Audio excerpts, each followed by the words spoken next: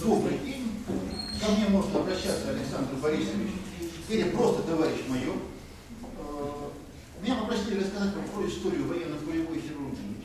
За час ни одну тему всерьез раскрыть, безусловно, не получится. Поэтому я бы, наверное, начал с того, что я спросил бы вас. Кто из вас что слышал про военную медицину и как бы слышал и хочет получить ответ на вопрос, который, который тогда, может быть, еще не задался? Вот. У кого-нибудь из вас есть какие-то вопросы? Вы же смотрели фильмы, читали книги наверняка. Ни у кого. Э, К преподавателям это тоже относится. Нам очень бы хотелось узнать о военной хирургии. Первый вопрос. Какое вы получили образование, чтобы говорить о военной хирургии? А, Вы знаете, э, не очевидно, у меня самообразование примерно с 2009 года. У меня небольшая скромная библиотека, примерно в три сотни томов. То есть вы самоучка. Да, но тем не менее, после моих рассказов ко мне периодически под- подходили люди и говорили, коллега, а где вы работаете, какая у вас специализация? Я им говорю, что я вообще, моя специализация это Unix сервера, мне говорят, нет, а в медицине. Вот. Э, В целом, врачи, которые слушали мои ошибок не обнаружили. Очень хорошо. Продолжим. Вот, вот так вот. Я прекрасно понимаю, что я, допустим, не могу поставить диагноз, не могу назначить лечение, мне на это категорически не хватает информации, знаний. А, Но когда мне ставят диагноз, назначают лечение, я могу задать вполне разумные с точки зрения врача уточняющие вопросы. Я не врач, но я точно так же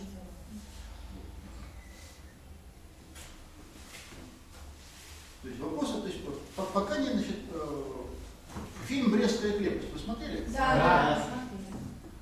Вот сам по себе фильм же очень сильный, правильно? Обратите, значит, э, но, к сожалению, это очень характерно для кинематографа вообще не только нашего, и для литературы. Там все показано хорошо, все показано достоверно, все показано правильно, а медицина на сдачу. Что там делает врач э, с пулевым ранением? Куда ставят пули? Пуля достает. Николай Иванович Пирогов, знаком вам такое, так- такое имя? Да, знакомый. Николай Иванович Пирогов, э, отец э, русской хирургии, основоположник военно-полевой хирургии. По опыту Крымской войны, кто помнит, когда Крымская война была, хотя бы, хотя бы, хотя бы с точностью до 10 лет.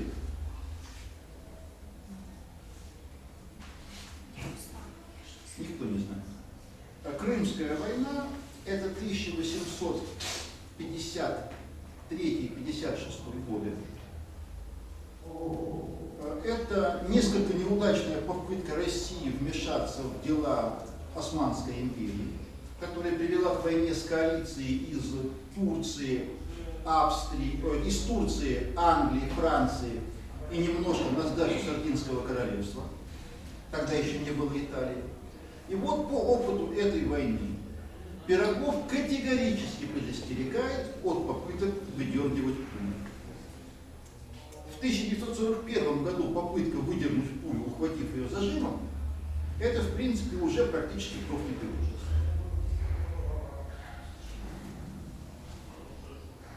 Но начнем тогда, наверное, с Николая Ивановича Пирогова. Начал свою медицинскую карьеру Пирогов внезапно с подделки документов. Его отец попал под следствие в связи с хищением казенных денег. Он не был обвинен в соучастии, но был обвинен в небрежении. Он проглядел э, преступление своего подчиненного. Лишился места и вскоре умер, как тогда говорили, от удара. Но понять, был это инфаркт или инсульт, скорее всего, это было что-то одно из двух, но понять, что это было, мы уже не можем. Э, Коленька Пирогов, чтобы не быть обузой семье, поступил в Московский университет на казенный кошт по совету их домашнего, своего домашнего доктора. И чтобы поступить в университет, он, указал, он приписал себе лишний год.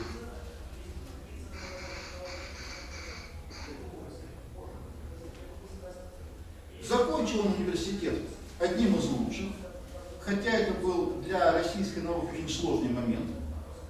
Э, это был момент, когда внезапно очень начали следить, чтобы изучение науки не повлияло на религиозность. Как раз в Казанском университете, примерно в те годы, с панихидой похоронили анатомический кабинет. Что такое панихида, вы знаете, да? Так, если кто-то не знает, поднимает руку просто.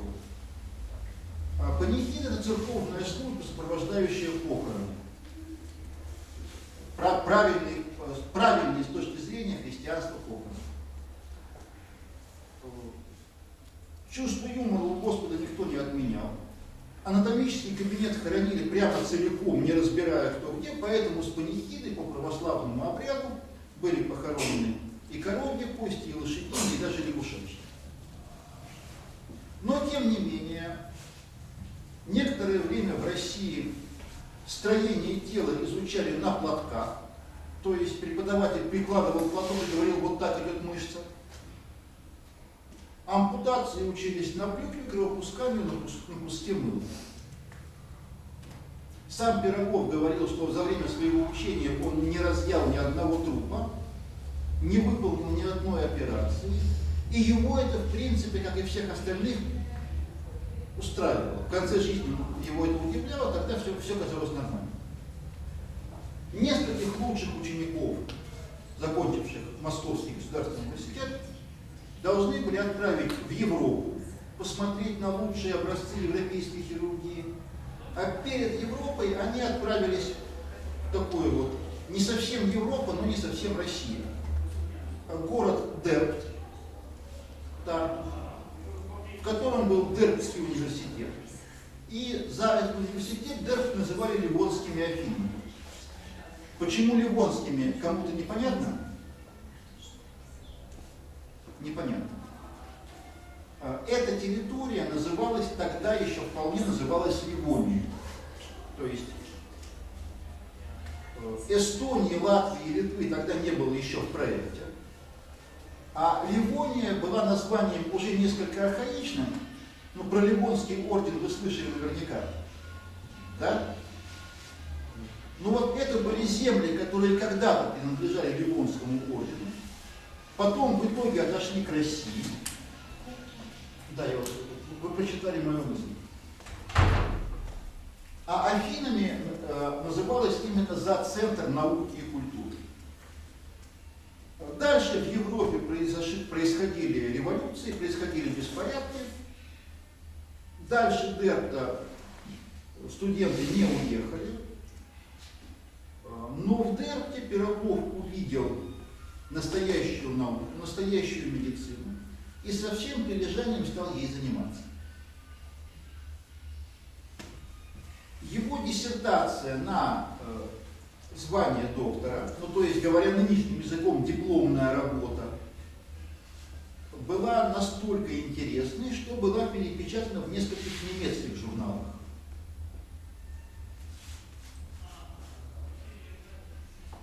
Пирогов впоследствии должен был получить место в Москве, но заболел, э, поэтому следующим местом его был Петербург.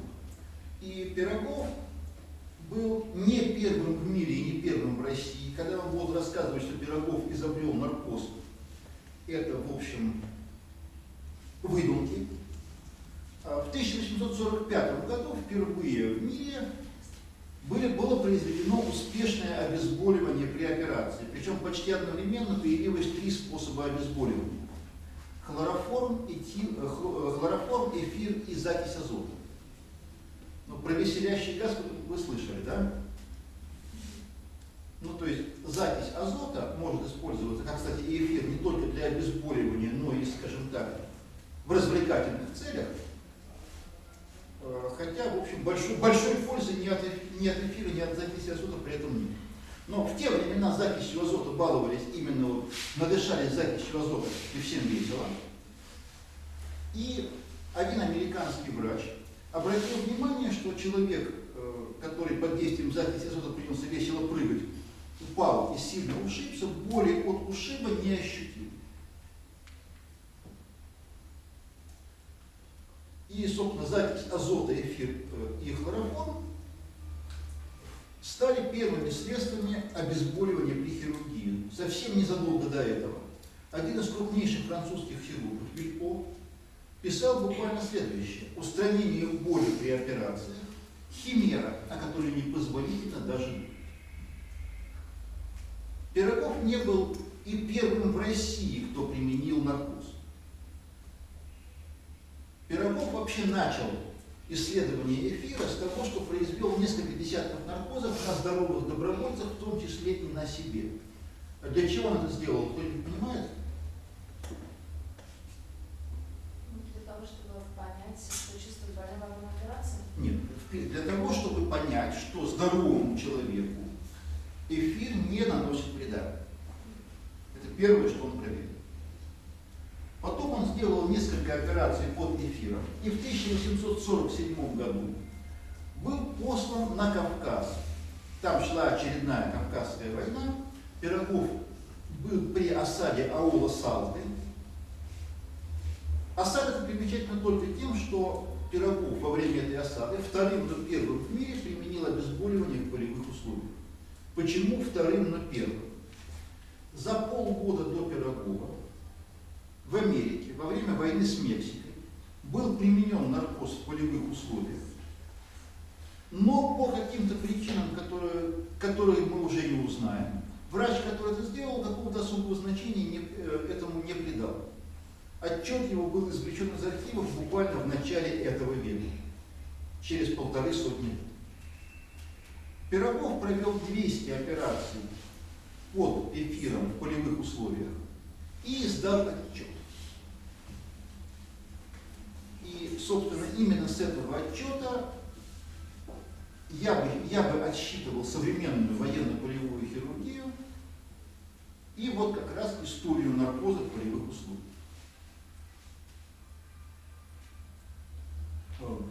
Так, господа товарищи, вам вообще оно интересно или вы начинаете скучать? Если у кого-то возникают какие-то вот вопросы, вы спокойненько поднимаете руку, потому что мы, в принципе, можем пере- перепрыгнуть на любую. тему.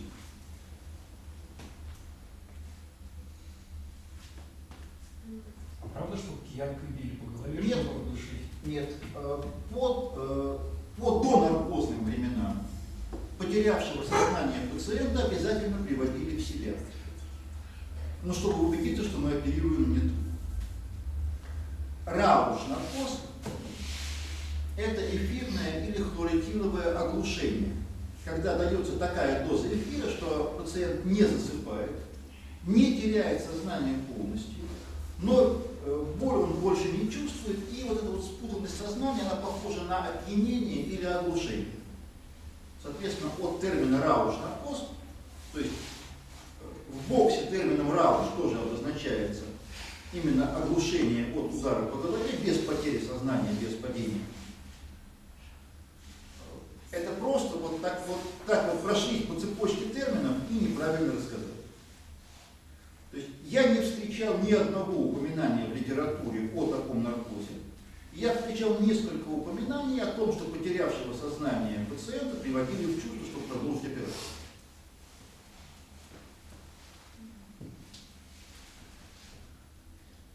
Крымская война с самого начала пошла совсем не так, как все ожидали.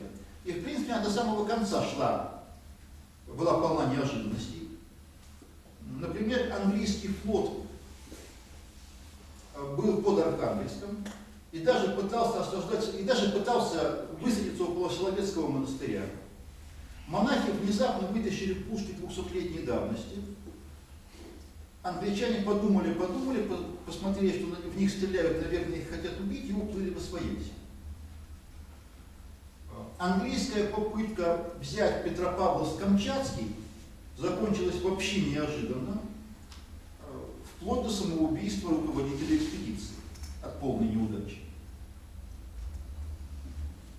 Попытка демонстрировать около Санкт-Петербурга привела, наверное, к самому яркому одиночному эпизоду той войны. Один из английских офицеров собрал э, группу офицеров вокруг выловленной русской морской мины, и сказал, господа, смотрите, это русская мина. Видите вот этот колпачок, если по нему ударить, и больше он ничего не сказал. А? Да, то есть, то есть э, чем он думал, когда стукнул по колпачку, не знает никто. Возможно, вообще ничем.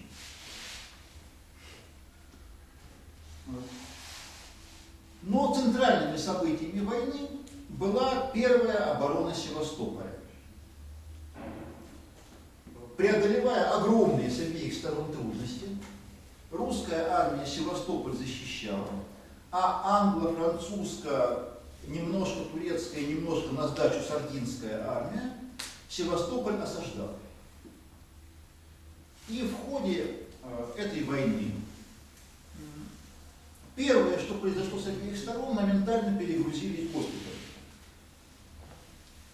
Сражение при Альме, первое крупное сражение Крымской войны, дало примерно столько раненых, сколько всего было коек во всех госпиталях Крыма, от Керчи э, до, до, до Евпатории и до Перешейка. Но при этом по тем временам примерно треть госпиталей во всех армиях стабильно были заняты больными. Тогдашние армии болели очень много, и по оценкам Свечина в русской армии того времени э, потери от болезней были, ну, в принципе, да, даже в мирное время потери от болезней были таковы, что э, Николаевский солдат после 10 лет службы, это одна из реформ еще Николая I, после 10 лет службы солдат э, уходил в запас. В среднем 10% армии в год умирало от болезни, либо дезертировало. Поэтому через 10 лет Николаевский солдат уходил не в запас, а на инвалидность, если не на кладбище.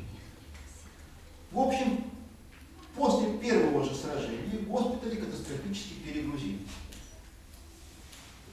Организация медицины была такова, что никто даже не представлял себе, с какой стороны подходить к такому количеству раненых. И впервые события на фронте, судьба раненых, привлекли активное деятельное внимание общества. Почему я так подчеркиваю деятельное внимание? «Войну и мир» вы читали, наверное, еще не все. Я думаю, что даже когда она будет у вас в программе, не все ее осилят. Книга очень большая, очень тяжелая. Но там упоминается такой момент, когда мы щипали корпию для э, раненых.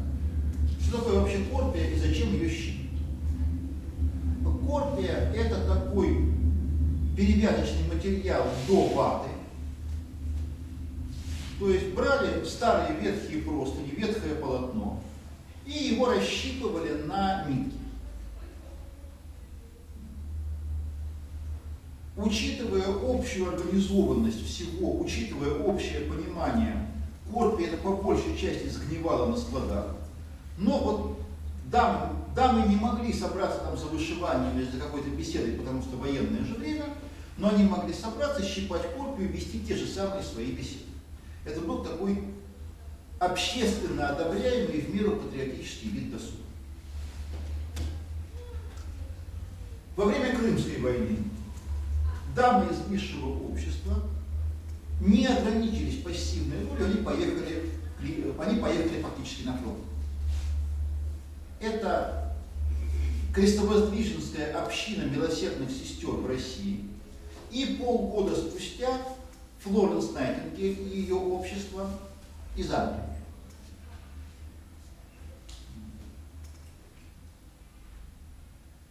В чем, э, в чем была гигантская сила вот этой крестовоздвиженской общины? Это были дамы из высшего общества. Это были дамы, мужья которых по рангу превосходили или как минимум были равны любому офицеру, включая главнокомандующего в Крыму. Это были люди, которых нельзя было просто так поставить, сказать, это не ваше дело, идите отсюда.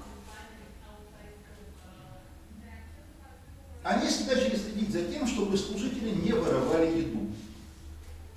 И внезапно при тех же вроде бы нормах закладки Раненые стали питаться гораздо лучше, потому что до этого пробовали все, включая опечатывание котлов. Но даже это не помогало, каким-то образом умудрились вырывать из опечатанных котлов. Интенданты жаловались на то, что нет палаток, нет одеял, нет котлов, нет кровати, нет ничего. И вот к такому интенданту подходит великая княгиня и говорит, «А давайте мы вместе пройдем по складу и посмотрим.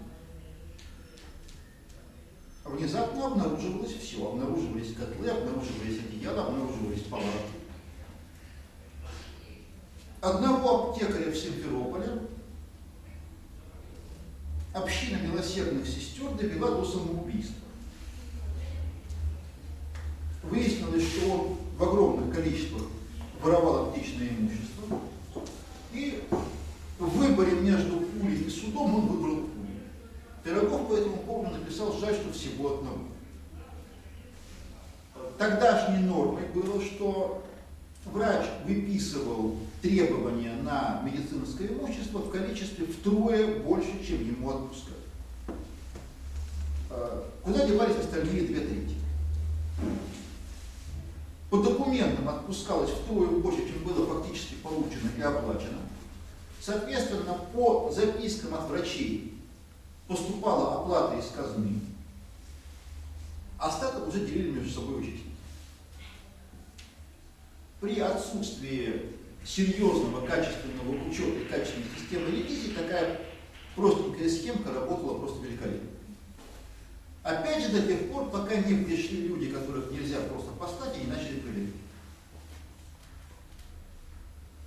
Э, Пирогова они взяли с собой, потому что они прекрасно понимали, что просто женщина из высшего общества, даже умная, даже порядочная, не разбирается в медицине. И выбор пал на врача, который уже имел военный опыт, который уже был европейский известен. И сами того не зная, они повезли с собой будущую военно-полевую хирургию. Есть такая книга «Герои Малахова кургана» Луи Буссенар. Вообще, Луи Буссенар – это, насколько я знаю, основоположник подросткового приключенческого романа. Это человек, который просто придумал новый жанр в литературе. У него есть очень интересная и с медицинской точки зрения интересная еще книга «Капитан Сорви голова». А книга «Герои Малахова Кургана» у нас менее известна, она практически не издавалась. Как вы думаете, почему? Потому что книга «Герои Малахова Кургана» была посвящена героям Крымской войны. Но о каких героях Крымской войны писал Луи Буссена? Кто может догадаться? Луи Буссена у нас был кто? Француз? Француз. Поэтому книга «Герои Малахова Кургана» рассказывает о героических французских солдатах, сражавшихся под Севастополем. Книга на самом деле без шуток весьма интересная. Надо понимать, что Буссенат рассматривал русских не как врага, но как противника. Вы понимаете разницу, да? Кто, если кто не понимает, понимает какую-нибудь конечность. В чем тут разница? Кто, хорошо, кто скажет, в чем разница между врагом и противником?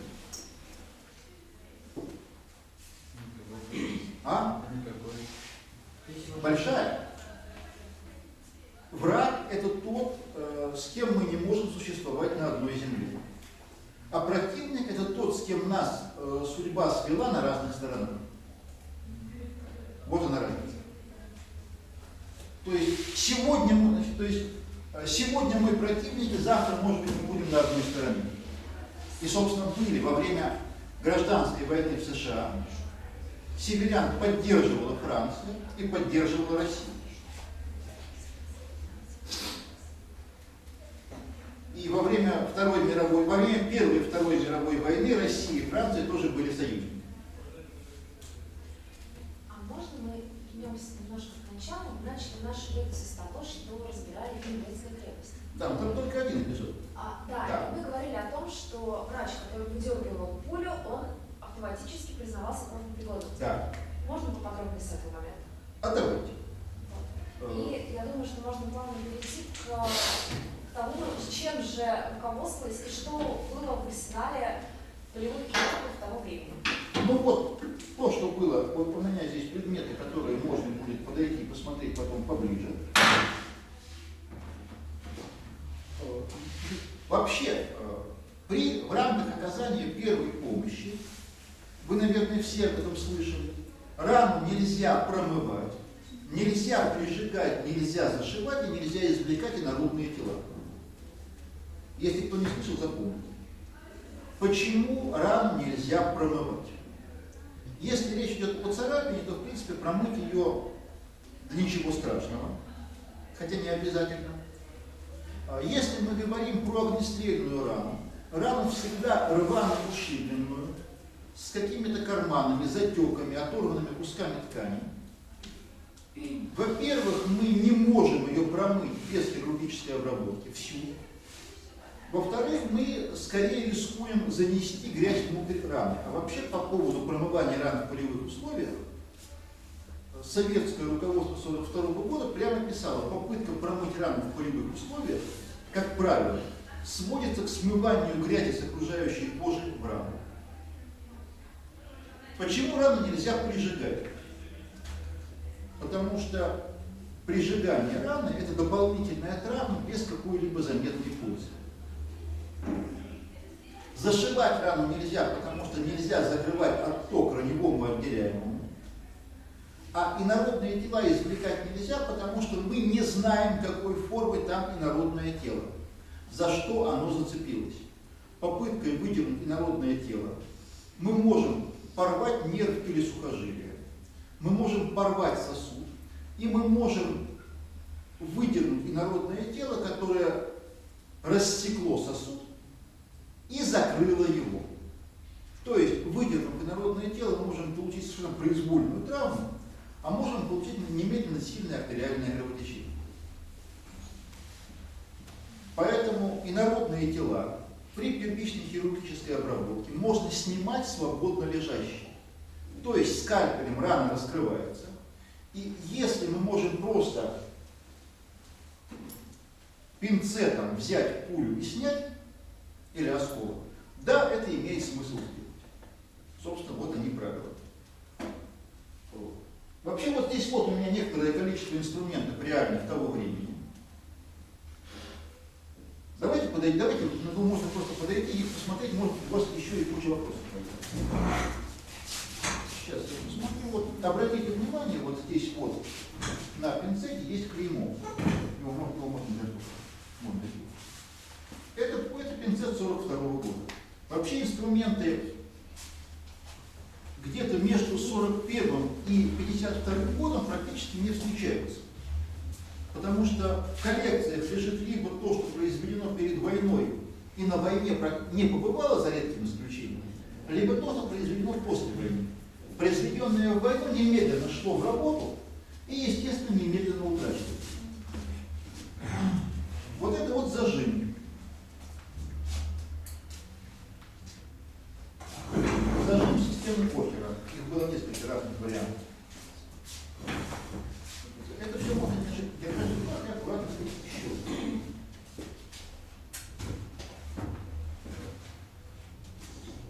Вот так выглядел набор для винисекции, то есть для рассечения вены, если нужно в нее попасть, а она слишком спалась, чтобы это можно было сделать иглой. Вот это вот аналогичный немецкий набор, совсем маленький, я бы сказал, почти дамский после, по э, комплектации. То есть, обратите внимание,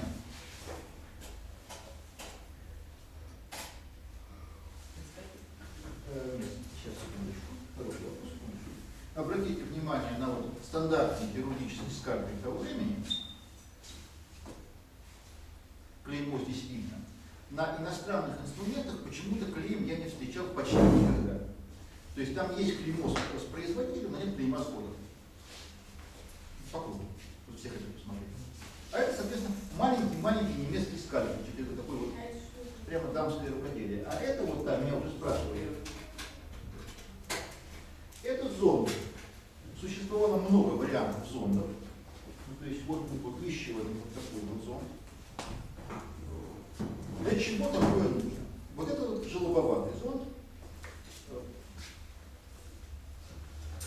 по желобоватому зонду рассекают что-то, если нужно очень осторожно, не попадая в глубину рассечь. Например, так, например, по желобоватому зонду рассекают твердую мозговую оболочку. Почему это? Сейчас, секундочку, одну секунду. Вот этот вот крючок используется для подведения лигатуры, то есть нити, под кровеносный сосуд. Мы вот так вот его подвели, провели нитку, вывели и можем завязать узел. Вот этот вот зонд пуговчатый иногда используется для того, чтобы пощупать что-то в ранее, в принципе, плохая и опасная практика. А так на него наматывают какую-нибудь вату и что-нибудь прижигают. И вот это вот служит для расслоения ткани. Нам иногда нужно не разрезать ткани, а аккуратно видеть вот между разрезом и разрывом. Поэтому в отличие от скальпеля, вот со скальпелем вот так не делайте, а с этим вот так сделать можно. Он такой почти острый. Э, Промасленная, значит, вот э, что такое, зачем промасленная бумага? Правильно сказано, для хранения. Это инструменты с хранения. То есть в те времена не, э, инструменты делались не все из хирургической стали. Итак, хирургической стали не было. Была уже нержавейка. Но нержавейка подходила не для всего. Например, скальпель из нержавеющей стали не делали. Тогдашняя нержавеющая сталь не держала заточку, она крошилась при попытке ее заточить. Поэтому скальпели часто были хромированные. Хромировка от влажности со временем сходит. Поэтому вот так вот смазали толстым слоем масла, специального смазочного, замотали в бумагу промасленную, и оно хранится, ну, про 10 тысяч лет не знаю, но 100 лет прекрасно пролежит. Это у нас часть малого перевязочного набора. Да, я помню. Что? А это кольница. Это коробочка, в которой лежат хирургические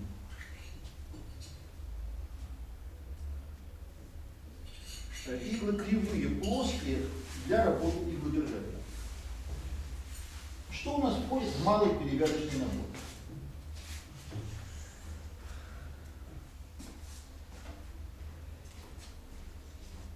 Пинцеты. Много пинцетов. Вообще, зачем так много пинцетов? Как вы думаете? А? Что. Смотрите, э, пинцеты – это тот инструмент, который чаще всего меняют.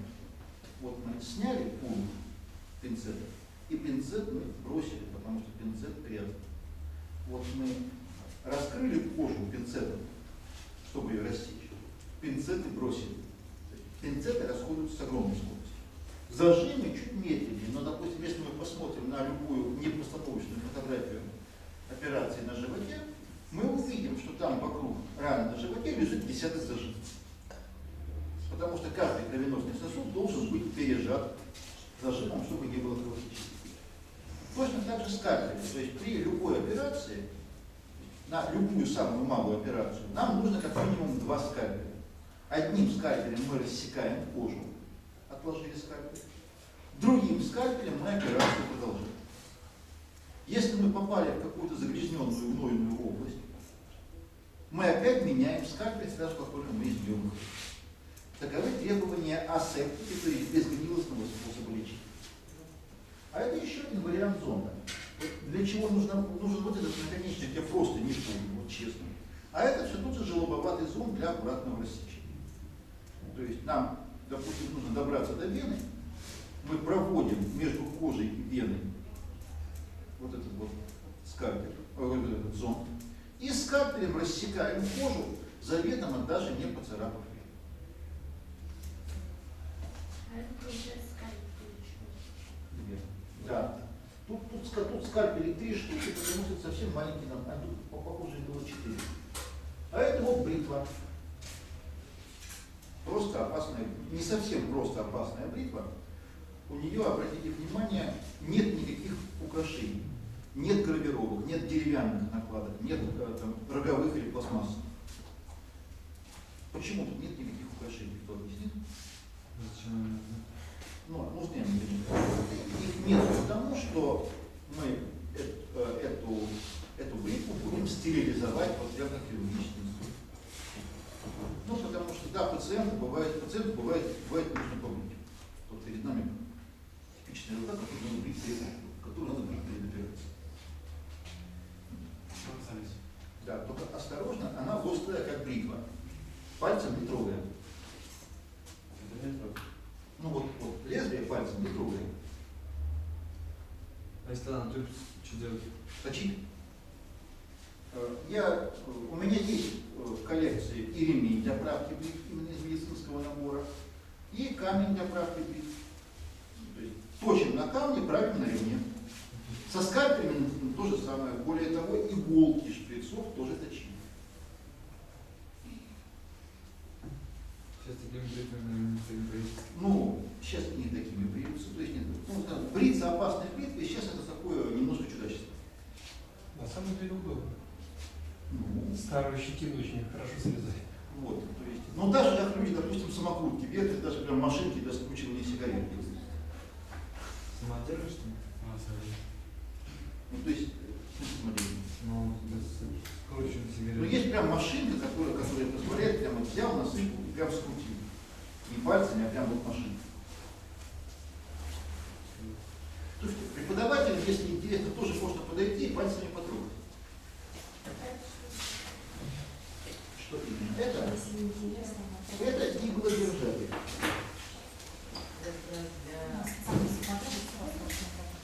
Да, то есть вот мы берем иглу,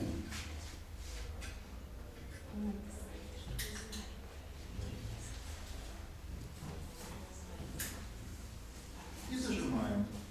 Зажимаем иглу. На боку. Он является Да, вот у меня здесь есть условный пациент, я сейчас не буду возиться ему ничего. Ну, то есть вот мы Галочки насколько Правда. закончить? выводим, завязываем. Более быстрый вариант для чисто на коже ушла, я вам прямо сейчас покажу.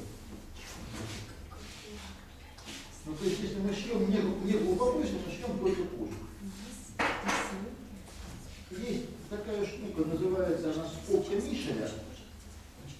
Вот они у меня современные, они ничем не отличаются от старых. И вот у меня есть специальный пинцет для их наложения. Вот мы взяли.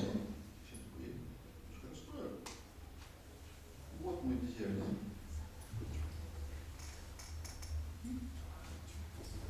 Вот мы наложили на рану.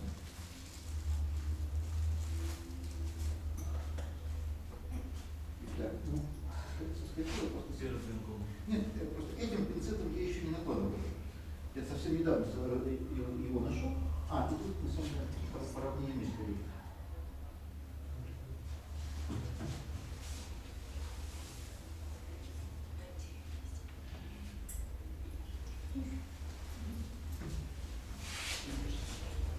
И прекрасно будет.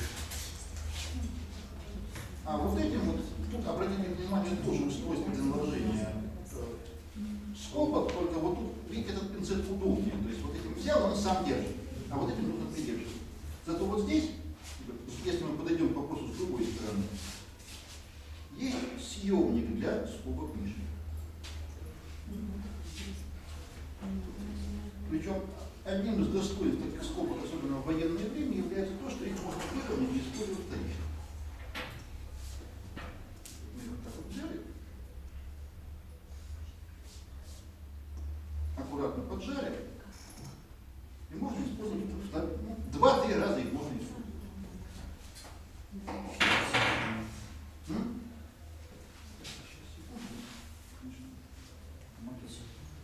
Да, это силиконовый, очень базовый тренажер для наложения шва. А? Сейчас, секундочку, мы сейчас к этому перейдем. Это, судя по всему, военная. Это американский карманный набор инструментов. Ну, вообще карманный набор, карманный набор инструментов это либо для амбулаторного приема, то есть вот этим вот набором там можно вскрыть фурункул, либо либо как пистолет. То есть в общевойсковом бою бесполезен, но если у человека пистолет, значит он начинает. Что мы здесь видим? Мы здесь видим зонд, уже знакомого вам типа, да? А Мы здесь видим более современного типа иглодержатель. То есть вот такой вот иглодержатель, он считается более удобным, им удобно вязать узлы. Ну, вообще вот, опять же, я не врач, поэтому не могу судить, но вот, вот такие иглодержатели выпущены даже не вот такими, а без э, фиксатора, без мы просто сбежали иглу, провели, разжали.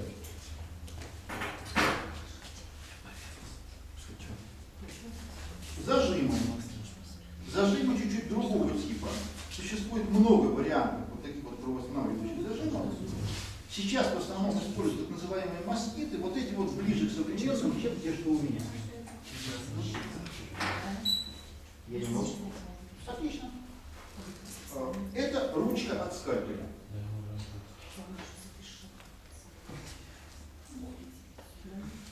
Одноразовый скальпель. То есть мы его нащелкиваем и используем. Он занимает меньше места, он легче, он проще.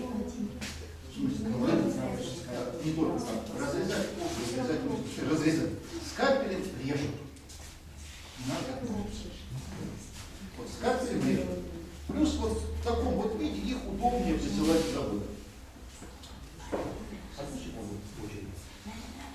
Я не могу что это нужно. Э. Зон. И еще два зажима. И здесь была такая ручка, которая для меня уже не дошла. Вот здесь вот у нас лежит жгут эсмарка. Я не буду для коробки подкрывать, потому что жгут высох, окаменел и крошится. Я на него даже смотреть лишний раз не хочу. Так, э, поскольку мне тут показывают, что наступило время, э, если у кого-то есть какие-то прям вопросы, вопросы, вы их можете мне задать. А вообще у меня есть больше суток рассказов о истории болевой хирургии на Ютубе. А? Это вообще канал Тактик Медиа, сам по себе канал крайне интересный. Там люди рассказывают очень много о чем. А это крючки для извлечения вот этой сетки из передачи.